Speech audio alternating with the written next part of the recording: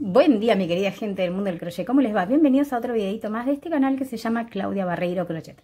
Hoy les traigo esta opción donde les enseño a hacer eh, esta florcita tejida que es muy fácil, se hace un cordón, yo le puse un broche francés, atrás se le puede poner un, broche para prendedor, para, para, pin, para la ropa. Eh, es muy simple de hacer, fácil, podemos hacer un montón, ¿por qué no? Para vender. Si les parece vamos a empezar. Está tejida con fibra acrílica, ¿sí? con esta que es una especie de lanita sintética, no es un material natural. Eh, en este caso son dos hebras finitas y con aguja 4. En este caso eh, es una aguja también bastante grandecita. No tiene por qué, tiene que ser acorde al hilado o un poquito más gordita la aguja, apenas, para que la puedan tejer fácil. Vamos a hacer un nudito deslizado y vamos a hacer uno, dos, tres anillitos en el dedo, ahí donde estoy nomás, vamos a pinchar en el punto de al lado, traigo la hebra y la sostengo, ahí ya tengo dos anillitos en la aguja, voy al punto, al primer punto que tejí, pincho, traigo la hebra y ya tengo tres anillitos en la aguja. Suelto dos, uno, dos y me quedo con el primero. Voy a buscar la hebra, hago una cadena. Ahora voy al segundo, por acá. Voy a buscar la hebra, hago una cadena. Ahora voy al primero. Voy a buscar la hebra, hago una cadena.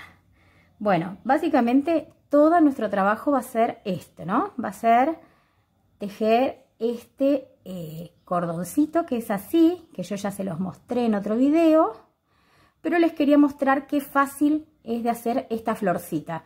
Les traigo tutoriales fácil porque, bueno, esta semana estoy con, con unos temas de tiempo acá en casa. Bueno, ustedes saben que yo trabajo en casa y tengo al niño eh, con educación virtual, entonces eh, no siempre es fácil. Estoy pinchando la última, traigo la hebra, ahí está. No siempre es fácil eh, encontrar el momento para poder grabar un videito, así que bueno, con todo mi amor les traigo algo rápido para hacer para que lo puedan hacer así de fácil como yo y, rapidito y para entretenerse el fin de. Pincho nuevamente, traigo la hebra, ¿ven? Voy al punto que sigue, hago una cadena, voy al punto que sigue, hago una cadena. Ahora suelto los dos primeros de la aguja y voy y traigo la hebra nuevamente y todo lo que vamos a hacer va a ser esto, repetir hasta tener un largo aproximado de, eh, no sé, yo tengo más o menos 50 centímetros. ¿Cómo lo vamos a determinar el largo que necesitamos? Porque va a depender del ancho también que tiene nuestra, nuestro cordón, ¿no? Si nuestro cordón es más fino, quizás necesitemos menos centímetros para cada pétalo. Vamos a tomar más o menos nuestro dedo y vamos a tomar eh, que esta medida va a ser, por ejemplo, la de un pétalo. Entonces vamos a calcular 5 veces esto o quizás un poquito más grande. Ven que yo acá lo hice un poquitito más grande. Así que vamos a ir haciéndolo, haciéndolo, haciéndolo y eh, vamos a ir midiendo con nuestro dedo así muy a ojo. Bueno, yo no tengo 50 centímetros, tengo más o menos 32, 33 centímetros, ¿sí? De tirita, pero fui midiendo así, ¿ven? Fui, dije, bueno, ahí tengo uno, acá tengo el otro, acá tengo el otro y así voy midiendo hasta lograr tener el largo para hacer los cinco pétalos. Ahora voy a cerrar, voy a cerrar y tomo la lazada, saco uno, tomo la lazada, saco dos, tomo la lazada, saco dos y corto dejando una hebrita larga para poder coserlo, ¿sí?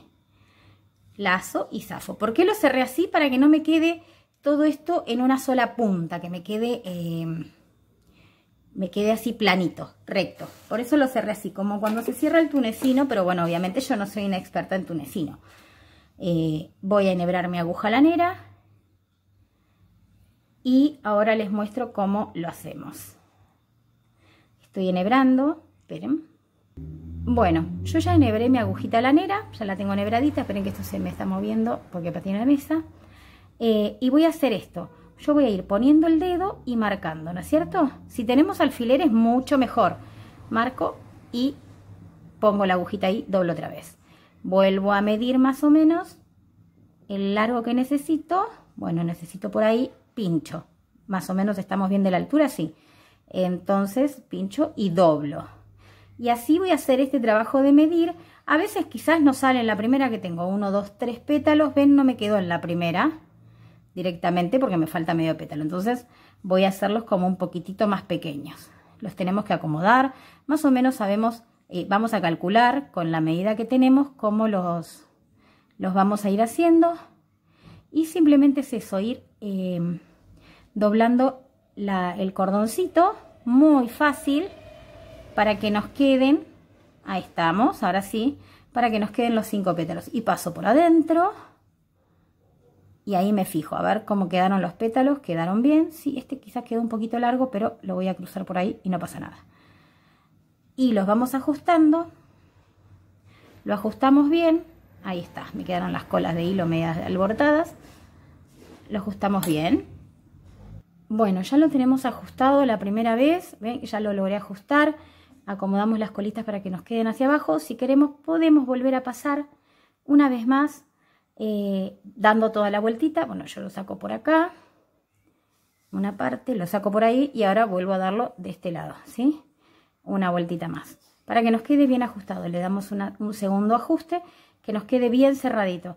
Y después, bueno, acá abajo lo pasamos por acá y hacemos un nudito con las colitas del inicio como para que quede prolijo y después vamos a esconder la hebra. Pero esta misma hebra la voy a usar yo para fijarla a algún broche o alguna hebilla o a lo que tenga en casa. Y después tengo, eh, pueden ser botones, no tenía ningún botón lindo la verdad, pueden ser botones, pueden ser estas piedras nacaradas o pueden ser estas cuentitas de madera pintadas, lo que tengamos en casa.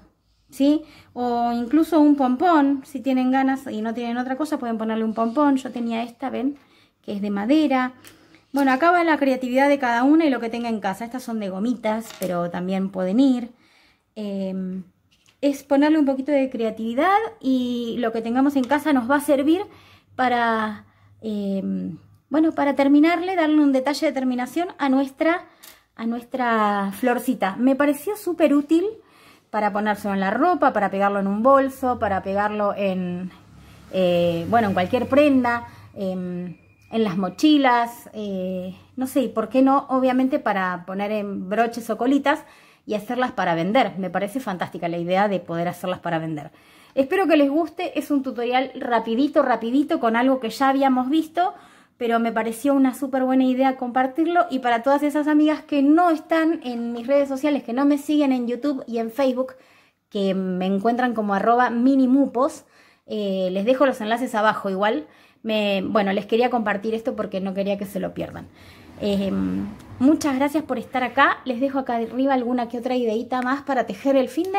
Muchas gracias por estar acá, por acompañarme, por dejarme comentarios. Déjenme acá abajo algunas cositas si quieren que les traiga aritos, si quieren que les traiga algún collar, eh, bueno, algunas opciones más de colitas, de vinchas. Déjenme acá abajo lo que quieran que les traiga en un próximo videito, si me van dando ideas y sigo sumando tutoriales chiquititos y después vamos a empezar a, sumar tutoriales un poco más grandes. Les mando un beso grande, muchísimas gracias por acompañarme, por hacerme el aguante, por toda la paciencia que me tienen. Eh, espero que tengan un hermoso fin de y eh, recordad que si lo podés soñar, lo podés tejer. Un besito grande, chau chau.